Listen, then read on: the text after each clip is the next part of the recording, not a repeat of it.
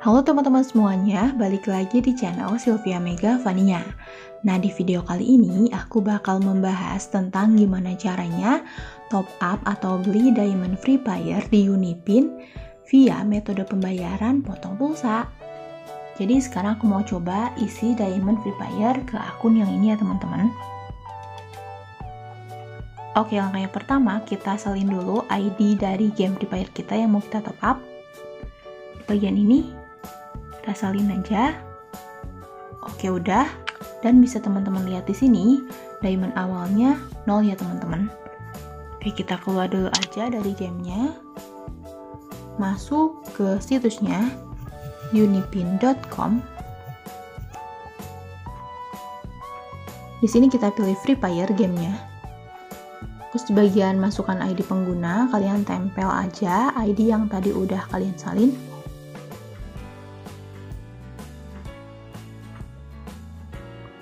sebentar bukan yang ini.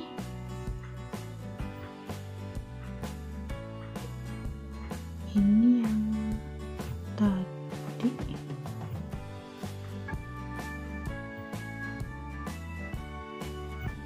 Nah ini ID-nya di bagian pilih denominasi kalian tinggal pilih aja nominal top up-nya.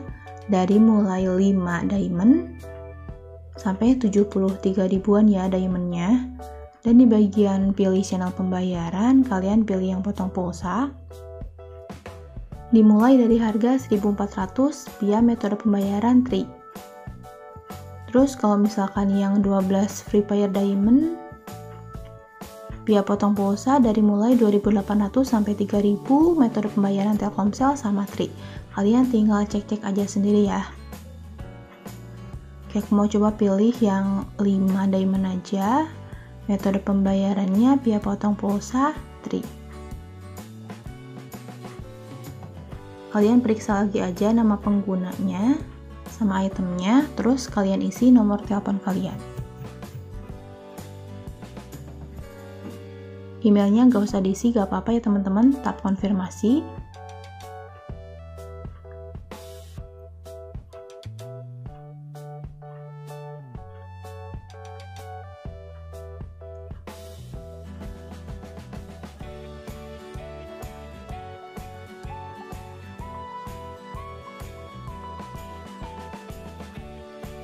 Kita tunggu SMS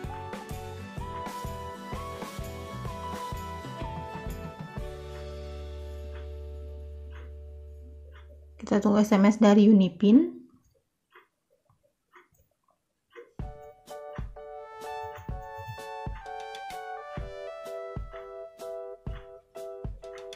Nah ini dia Hati-hati penipuan, pulsa akan terpotong 1400 untuk pembelian Unipin, kirim 2504. Tulis saja 2504, terus kita balas.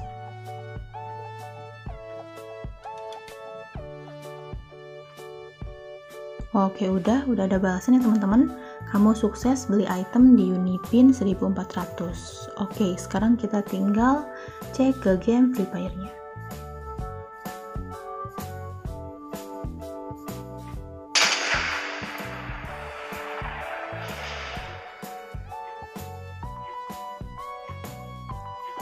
Oke, okay, bisa teman-teman lihat di sini. Ini akunku yang tadi yang mau di top up. Dan hasilnya seperti ini.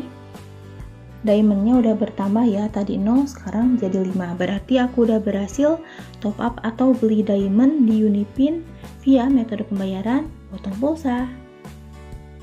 Nah, karena tutorialnya udah berhasil, jadi kayaknya segitu dulu aja video tutorialku hari ini.